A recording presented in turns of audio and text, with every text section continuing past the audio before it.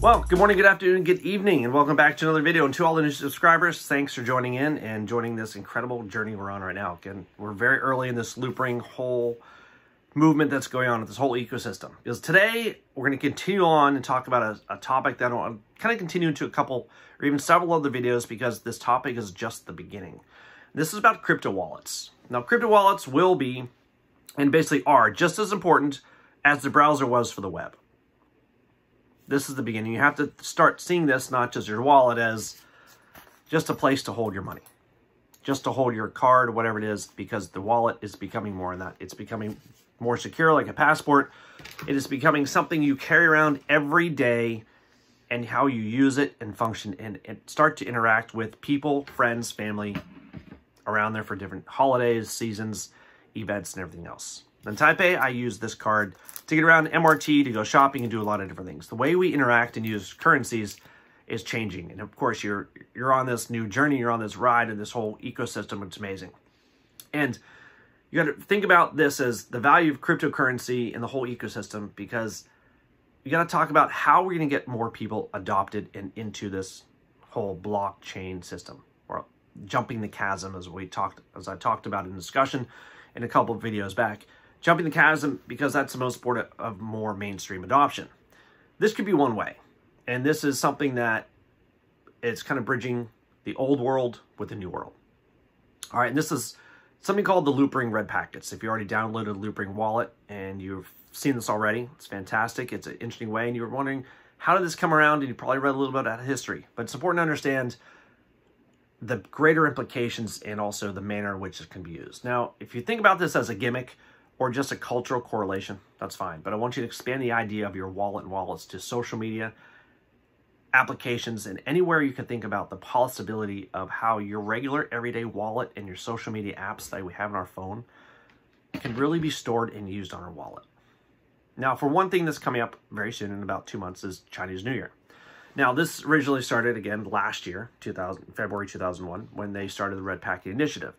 Because in China, Taiwan, and other parts of Asia, they use something called red envelopes. They're a traditional Chinese gift-giving custom on very special occasions.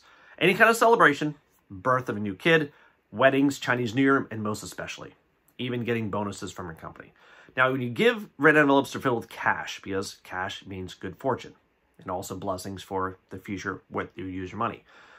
Now, when you get a red envelope on Chinese New Year, it's important to say that you keep it and you put that red envelope on your pillow for good luck and you can only open it when Chinese New Year ends. All right, and this is important because there's a lot of culture that's brought into this, and I, I think this is an important part of this whole app. It's opening a lot of new doors and connections to different parts of society and also different ways that you can use cryptocurrencies and wallets to help benefit your community that you're in. Community of, you know, who's around you, your family, your friends, even coworkers. Now, the average red envelope can have about 100 US dollars in for Chinese New Year for kids, even for family.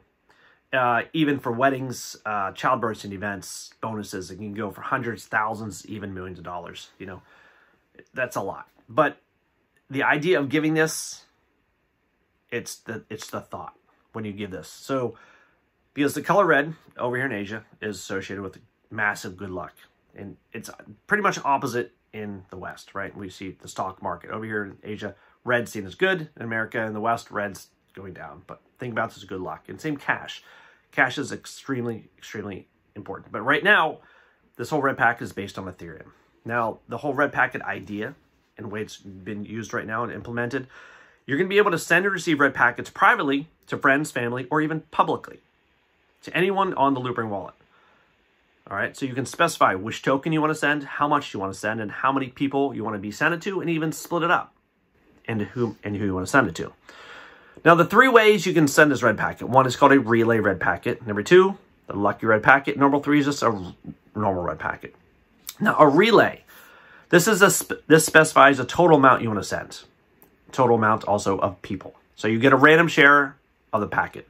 If they share with others via QR code, they will get half the amount that and the next person receives that as well. For example, if I send a, a packet of say a thousand tokens and I'm going to split that among 10 people. You find one, you open it up, you receive, for example, uh, 83 and a half tokens. You click share, which generates a new QR code for you. You share it to Twitter or another accessible app.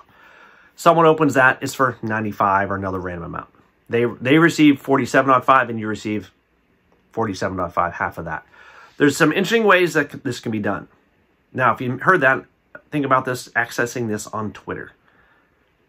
Using this to interact with other applications, not just on between your wallets, but think of other web applications. Instagram, YouTube. I'm not going to say anything else, but I think just that's just beginning. I won't say Discord, but whatever app you're using, why not? The possibilities are there. All right, now the next one's called a Lucky Red Packet. Lucky, this is going to be interesting. Specify total amount you want to send and number of people. Each person gets a random share of the total packet amount, which is pretty cool. It's completely distributed, randomized. So if you get a thousand coins, 10 people, one person opens up, they receive 90. Someone else opens up and receives 125. Next person op opens up, receives 250. And it goes on and on. And I think that's really a great part for Chinese New Year. Lottery is huge over in Asia. People go completely crazy spending thousands of dollars, well, I'll say hundreds of dollars a night spending on scratch off tickets and doing things just to get lucky. The last one's called a normal red packet. You specify a total amount and the number of people. Each person will get the same share of the total packet amount. Say 1,000 thousand coins and 10 people. You find one, you open it up. 10 out of 10, someone else opens up and receives the same amount again and again. So this is very interesting. So again, understanding this and how they are, because you understand how the Loopring layer 2, it's basically, you're familiar with those ZK rollups, and how this lucky red packet is going to be on and off the system. All right. Now, the Loopring 2 account in yours and yours only, because it is very secure. But once you take that off, you send the money out, it is going to a centralized database. All right. And that's important because layer 2 reduces fees. And again, it's giving access to more people who you can now link that wallet with it. And again, it's going to add more options. And I see this as opening more doors and more doors and more doors, just like a Merkle tree.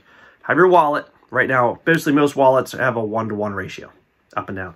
But a Merkle Tree, things come down and there's so many more possibilities. So the developers and user and user experience have to get involved in this. There's so many great ideas I have. And I'll talk about these in the next couple videos. Um, I'll share some with them. But I want to really expand upon these more and see about the possibilities for this. Because, again, this is just the early stage.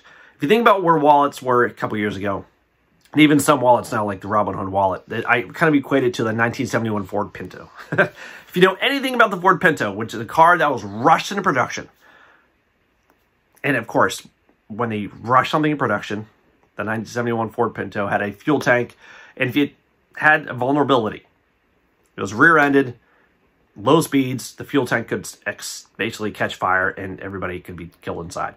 I think that is a lot of these wallets. I don't really trust a lot of them because they're, again, they're rushed out there and not a lot of thought put into a lot of security. And again, we'll talk about security in other videos. I do have a lot, a lot of topics to discuss because this is just the beginning stages. And I kind of try and look at a lot of our options for what's safe and what's not safe and how, what, uh, what can go good, what can go bad. And that's the great thing about cryptocurrencies. The early stages of this, it's open for discussion and how we can help each other kind of create a more stronger ecosystem through all this. So to all of you out there, guys, gals, stay strong, stay warm, game on.